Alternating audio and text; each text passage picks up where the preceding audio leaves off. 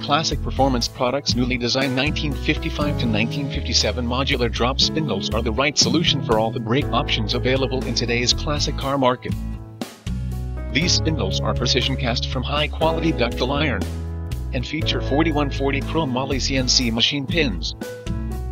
Each spindle also accepts factory ball joints and stock steering arms and is compatible with a wide range of brake options, big or small. Perfect for use when lowering your disc brake converted car a full 2 inches and can be used on 1955 to 1957 models that have already been upgraded with one of CPP's stock spindle disc kit, CPP Big Brake Kit, or Wilwood kits.